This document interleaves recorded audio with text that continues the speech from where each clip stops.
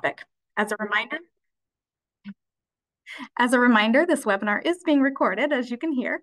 Uh, we will have time for questions at the end. Questions should go in the Q&A question and answer box in Zoom.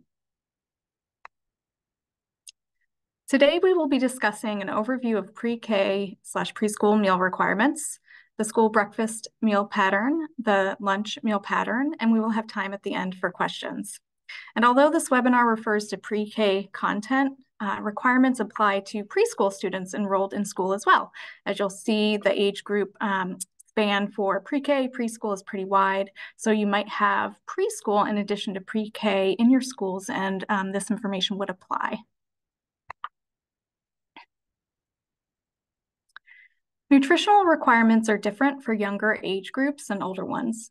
The meal pattern requirements reflect this need.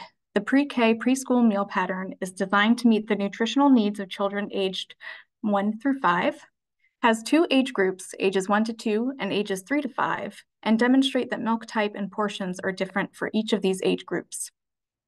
As a reminder, meal pattern requirements must be followed if students are not commingled with other grades. Speaking of commingled service, let's talk about it.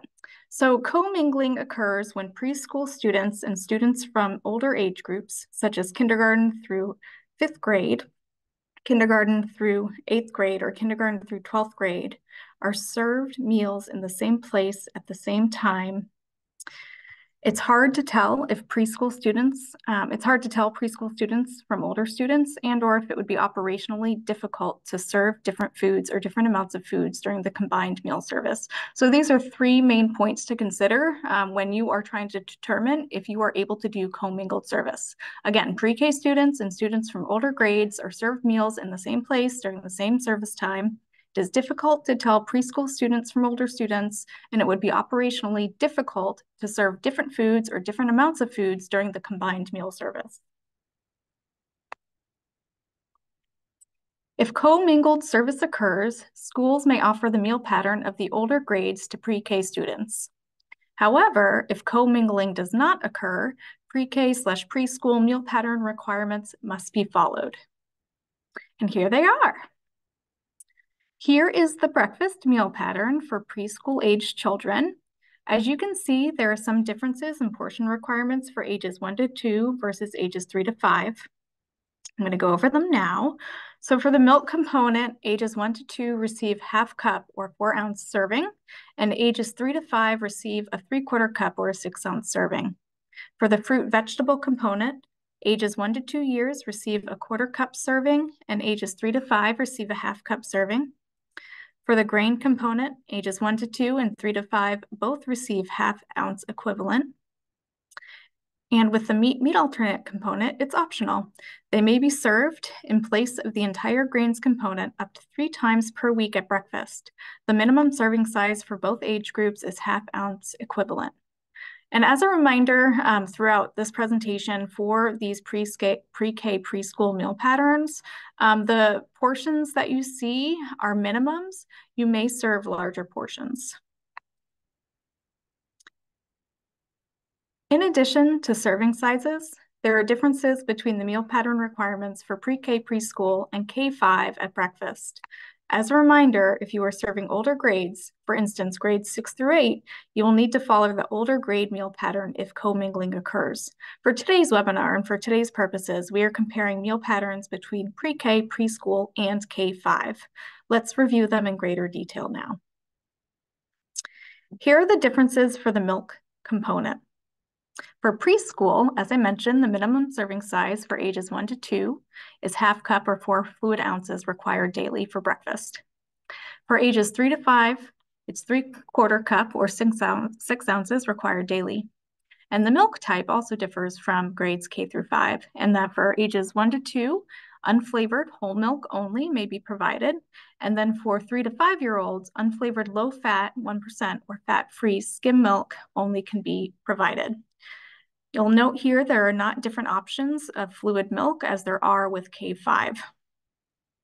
There is an asterisk here um, and a note is that for the um, age grouping of three through five, unflavored whole milk and unflavored reduced fat milk, which is 2%, may be served to children between the ages of 24 and 25 months to help with the transition from whole milk to fat-free skim or low-fat milk. In comparison, for the grades K through 5 meal pattern at breakfast, you want to um, you need to ensure that one cup or eight ounces of milk is required daily, and this is five cups over the course of the, the week. And the types that can be provided are unflavored or flavored low-fat 1% or fat-free skim milk. You must offer at least two different options of fluid milk, for instance, low fat and fat free milk. And if you are offering flavored milk, you must also offer unflavored milk. Here are the differences for the fruits and vegetables component.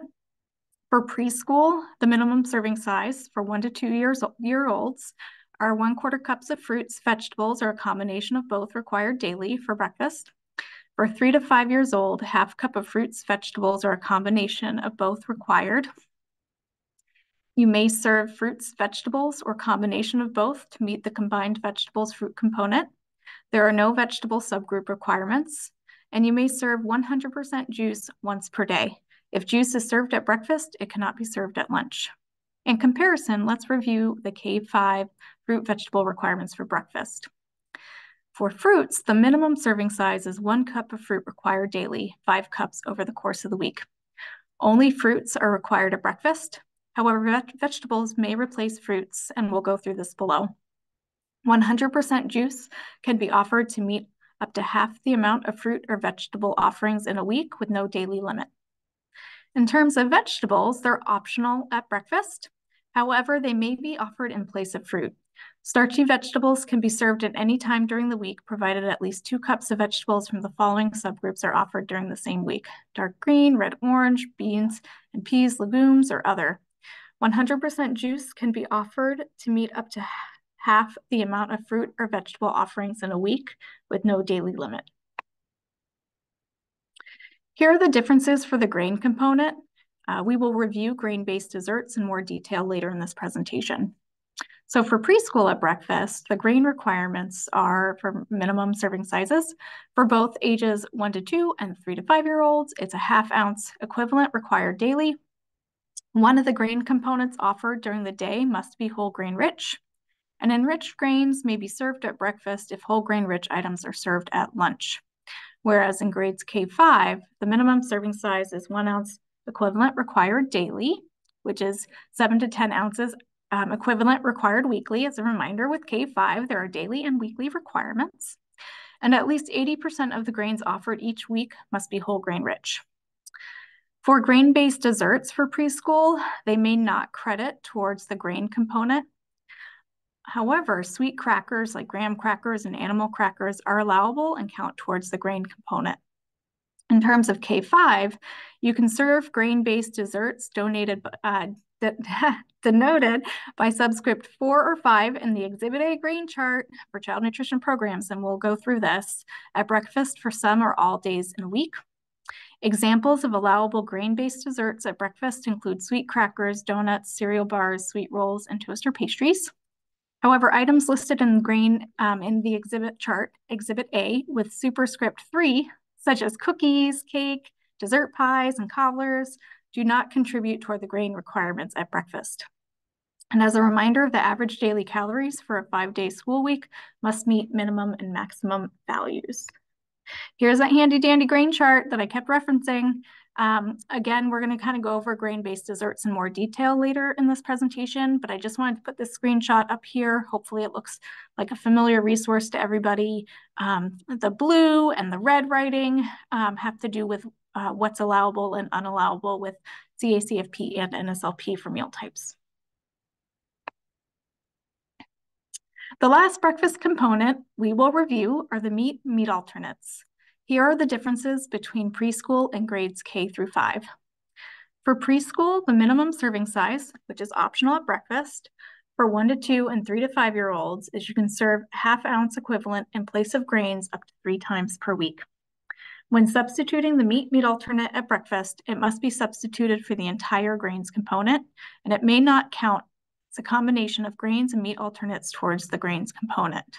Unlike grades K through five, where again, the meat meat alternate is optional at breakfast, but you can substitute one ounce equivalent meat meat alternates for one ounce equivalent grains after the one ounce equivalent minimum grain requirement is offered, which is permitted daily. Grains and meat meat alternates can be combined and count towards the grain component in a reimbursable breakfast. All right, we're moving on to lunch. Like breakfast, there are differences in portion requirements for ages one to two versus ages three to five at lunch.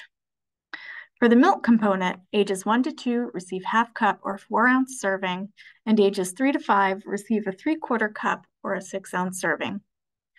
For the fruit component, ages one to two receive a one eighth cup serving, and ages three to five receive a one quarter cup serving. For the vegetable component, Ages 1 to 2 receive a 1 8th cup serving, and ages 3 to 5 receive a quarter cup serving. As an option, a second different vegetable may be served in place of fruit at lunch. For the grain component, ages 1 to 2 and 3 to 5 both receive half ounce equivalent. For the meat meat alternate component, ages 1 to 2 years receive a 1 ounce equivalent serving, and ages 3 to 5 receive a 1.5 ounce equivalent serving. There are additional differences between the meal pattern requirements for pre-K, preschool, and K-5 at lunch. As a reminder, if you are serving older grades, for instance, grades 6 through 8, as we talked about earlier, you will need to follow the older grade meal pattern if commingling occurs. Again, for today's webinar, we're comparing meal patterns for pre-K, preschool, and K-5. Let's review these differences now. Here are the differences for the milk component. For preschool at lunch, the minimum serving size for one to two year olds is half cup or four ounces required daily. For three to five year olds, it's three quarter cup or six, six ounces required daily. In terms of the types of milk allowed at lunch, for one year olds, it has to be unflavored whole milk only. And for two to five year olds, unflavored low fat, 1%, or fat free skim milk only and you're not required to offer different options of fluid milk. And there is that flexibility um, to offer unflavored whole milk and unflavored reduced fat milk to children between the ages of 24 and 25 months to help with the transition um, to fat-free or low-fat milk. In terms of grades K through five, the minimum serving size is one cup or eight ounces required daily, five cups required weekly, and the types offered must be unflavored or flavored low-fat 1% or fat-free skim milk. You must offer at least two different options of fluid milk, for instance, low-fat and fat-free milk. And if offering flavored milk, you must also offer unflavored milk. Here are the differences for the fruits and vegetables component. Let's review preschool first. So for fruits, the minimum serving size for one to two year olds is one eighth cup required every day, for three to five year olds, one quarter cup required daily, and a second different vegetable may be served in place of fruit. And you may serve 100% juice once per day. If juice is served at breakfast, it cannot be served at lunch. In comparison, for grades K5, the minimum fruit serving size is a half cup required daily or two and a half cups over the course of the week. A second vegetable cannot be served in place of fruit and 100% juice can be offered to meet up to half the amount of fruit or vegetable offerings in a week with no daily limit. For preschool vegetables, the minimum serving size are 1 8th cup every day for 1 to 2 year olds, 1 quarter cup daily for 3 to 5 year olds. There are no vegetable subgroup requirements. A second different vegetable may be served in place of fruit, and you may serve 100% juice once per day. If juice is served at breakfast, it cannot be served at lunch. In comparison, for grades K through 5 for vegetables, the minimum serving size is 3 quarter cup required daily, which is 3 and 3 quarter cups required weekly. There are weekly vegetable subgroup requirements. Dark green vegetables, half cup, red orange, 3 quarter cup, beans and peas, half cup, starchy vegetables, half cup, and other half cup. 100% juice can be offered to meet up to half the amount of fruit or vegetable offerings in a week with no daily limit. Here are the differences for the grain components at lunch. For preschool, the minimum serving size for both one to two and three to five year old groupings are half an ounce equivalent required daily. One of the grain components must be whole grain rich every day. Enriched grains may be served at breakfast if whole grain rich items are served at lunch. Whereas with grades K5, the minimum serving size is one ounce equivalent every day, um, or eight to nine ounces over the course of the week. Remember, there are different daily and weekly requirements. And at least 80% of the grains offered each week must be whole grain rich. In terms of grain-based desserts for preschool, they may not credit towards the grain component. However, sweet crackers like graham crackers and animal crackers are allowable and count towards the grains component with no weekly limit.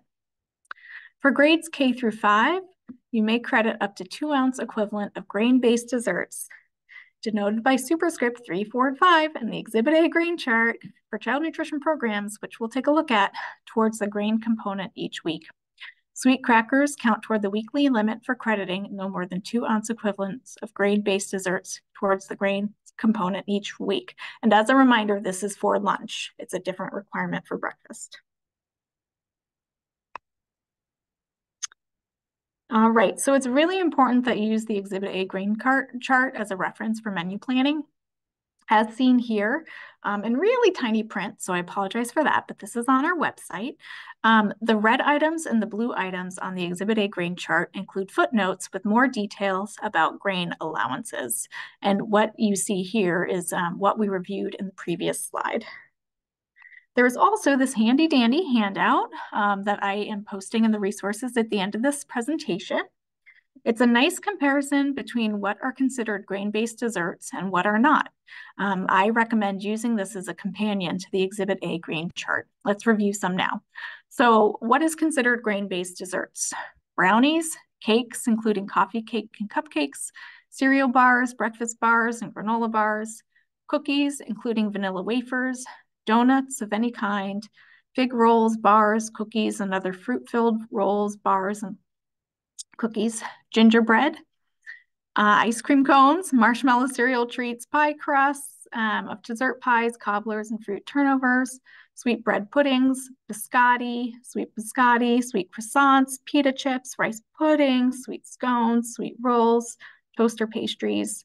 Um, the, the other side list is uh, items that are not considered grain-based desserts, and these include banana bread, zucchini bread, and other quick breads, cereals that meet the sugar limit and are whole grain rich, enriched or are fortified, cornbread, all types of crackers, French toasts, muffins, pancakes, pie crusts of savory pies, such as vegetable pot pie, chicken pot pie, or quiche, plain croissants, plain or savory pita chips, savory biscottis, such as those made with cheese, vegetables, or herbs, savory bread puddings, such as those made with cheese, vegetables, or herbs, savory rice puddings, such as those made with cheese, vegetables, or herbs. Are you getting recipe ideas from, from this presentation? Um, I hope so, because my mind is rolling. Um, savory scones, such as those made from cheese, vegetables, and herbs, teething biscuits, crackers and toasts, um, tortillas and tortilla chips, and waffles. All right. Let's review the differences for pre-K, preschool, and grades K through 5 in the meats, meat alternates component. And again, this is for lunch. So for preschool, the minimum serving size for one to two year olds are one ounce equivalent required daily. For three to five year olds, it's 1.5 ounce equivalent required daily. And for grades K through five, it's a one ounce equivalent required daily and 8 to 10 ounce equivalents must be offered over the course of the week. There are additional considerations with pre-K preschool meal pattern requirements.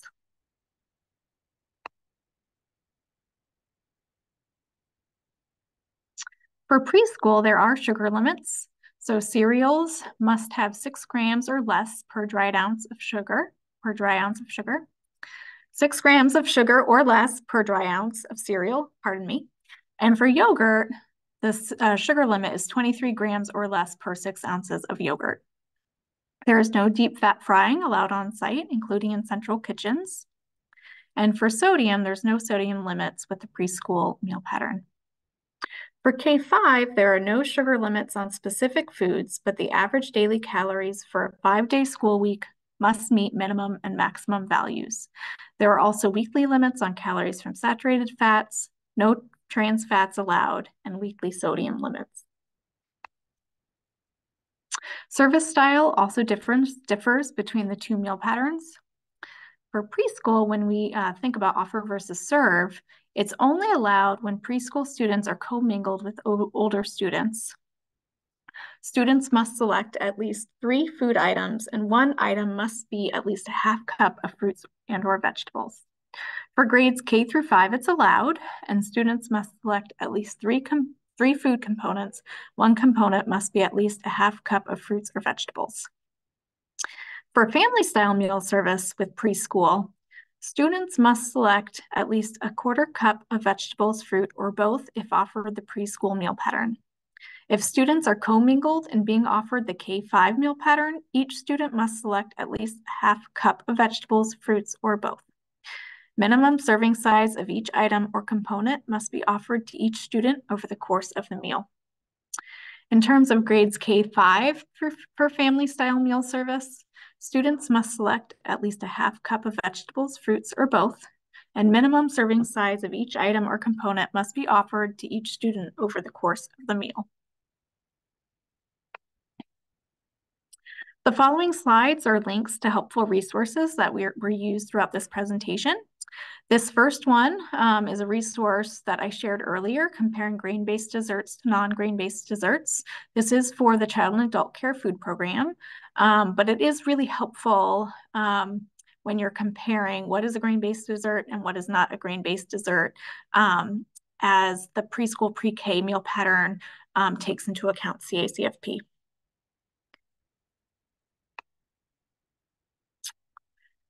In this resource, Serving School Meals to Preschoolers was the one heavily used throughout this presentation. It's a great resource. The link is here. Um, it breaks down um, the clear differences between the preschool meal, meal, pattern requirements and the K-5 meal pattern requirements and has additional helpful tips throughout. And finally, it's our favorite, the Exhibit A grain chart requirements. And as I mentioned, um, you can see that there are blue and red um, text throughout this, um, and they have asterisks. And the slides and the, the handout that was shared in the slide before this um, reference what is and what is not allowed with grain-based desserts. For the K5 meal pattern um, and what is and is not allowed for grains um, with the preschool meal pattern. And I really recommend pulling up this Exhibit A, reading um, the superscripts, which are the little numbers that appear um, with the colored text. And then the footnotes will be at the bottom of the handout um, to kind of understand what those, um, the colored uh, text mean. All right, as promised, um, we do have time for questions. So I wanted to open it up um, as we covered a lot of content and see what questions you have. At the moment, we have one. Great. The minimum serving size is one cup of fruit at breakfast, but does the student have to take the entire serving or can they only take half a cup if they don't want it all? So I am interpreting this question as being for the K5 meal pattern and a minimum of one cup must be offered for the K5 meal pattern, but if the student selects half a cup, that would count towards the reimbursable meal for offer versus serve. And we're gonna wait um, another minute to see if we have any other questions.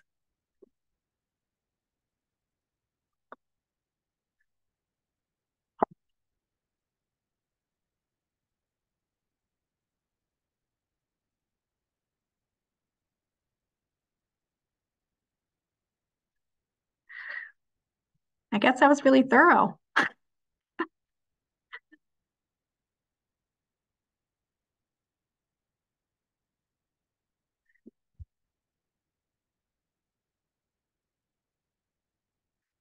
All right. Well, we don't have any other questions coming in. I oh. hope. Oh, wait. Here why we go. Is there no, why is there no sodium limit for pre-K? So the um, preschool pre-K meal pattern is based on, um, I believe, CACFP meal pattern. So I believe that is within those guidelines. It's not based on the national school lunch. And if offer versus serve is not allowed with pre-K serving, and you have to offer all components, what do they have to take? So um, I pulled back the slide for offer versus serve with preschool versus grades K five. And offer versus serve is allowed if they're commingled, so um, having the same service. If they're not commingled, um, you would do um, ser serve. So they would have all of the components if they are not commingled um, and if they're not doing family style meal service. It would be serve rather than offer versus serve.